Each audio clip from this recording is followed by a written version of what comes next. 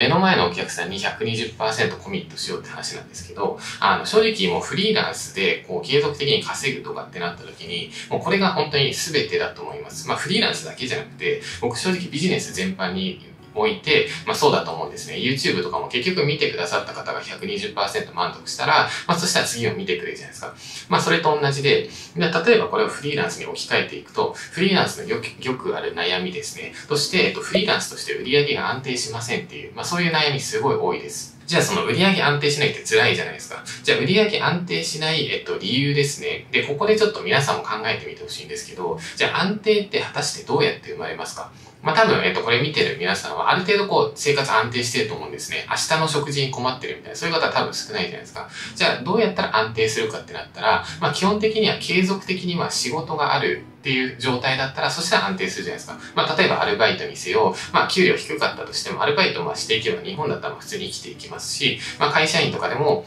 あの、会社が潰れて仕事がなくならない限りは、まあ、とりあえず仕事していけば食っていけるじゃないですか。じゃあ、ここで、えっと、フリーランスについてさらに考えていくと、じゃあ、フリーランスとして継続的に仕事がある人の特徴ですね。あの、要するに仕事していけば安定しますよね。だから継続的に仕事あれば、まあ、安定したフリーランスになれるわけじゃないですか。じゃあどうやったらその、あの、継続的に仕事があるか。で、これもめちゃくちゃシンプルで、まあそれが要するに相手の満足度なんですよね。目の前のお客さんですね。例えば僕もともとエンジニアだったので、サイト制作とかしてたんですけど、まあ作ったサイトでお客さんが喜んだりとか、作ったサイトでお客さんが、まあ例えば集客できたりとか、まあそういうのがあったら満足して、その後もじゃあ継続的にお願いしますっていう、まあそういう風になるわけですね。まあだからこれが、あの、すごい一番大切なことですね。で、さらに、あの、この話っていうのをこう、見てる方に、なんか腑に落ちるみたいな、まあそういう風に感じてほしいので、ちょっと一つ質問があります。で、えっと、それ何かっていうと、多分皆さん普段働いてますよね。まあ、ニートの方も一部いるかもしれないんですけど、過去に、まあちょっと働いたことあると思うんですよ。で、その時のことを思い出してもらって、それで、あの、自分が一緒に働きたいって思う人ってどんな感じですかね。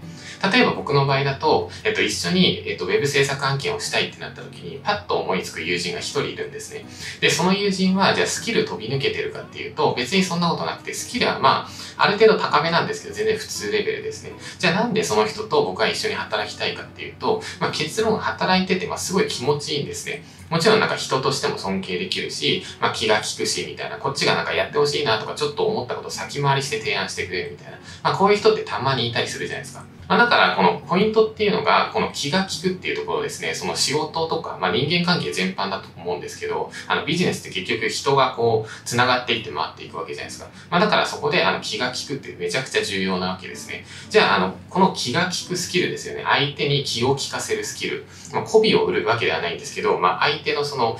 考をこう考えてあげるというか、まあこれってめちゃくちゃ重要じゃないですか。じゃあ、えっと、さらに、えっと、もう一回進んで考えていきたいんですけど、じゃあ気が利くって果たしてどういうことみたいな。じゃあ気が利くに関して、まあ僕なりの考えっていうのを話すと、それは、えっと、相手の一歩先っていうのを予想して先回りできる人なんですね。まあだから、えっと、ウェブ制作とかでを例にすると、例えばその、まあ社長さんがいたとして、で、社長さんに、まあ僕がサイト納品するじゃないですか。で、その社長さんっていうのは納品してありがとうございますってま言いますよね。で、その先に社長さんは何をするかっていうのを僕は一歩先をこう、あの予想するんですね。で、多分ほとんどの社長さんっていうのは、あ、サイト納品されただけじゃまだ終わりじゃないから、じゃあブログ書かないとなとか、あとはなんかメンテナンスどうしようかなみたいな、そういうの考えるわけじゃないですか。で、そこについて、例えばメンテナンスのマニュアルとか、ブログの書き方のマニュアルみたいな、そういうのを事前に送ってあげるんですね。あの、納品した後に送ってあげるみたいな。まあそういうことをすると、あの相手はまあすごい喜ぶわけですよ。まあ言ってもいないでやってくれたんで、あ、ありがとうみたいになるじゃないですか。で、ありがとうってなったと同時にそこで何が起きるかっていうと、ちなみになんですけど、あの、なんか更新のサポートとか、まあそういうのもお願いできるんですかねみたいな。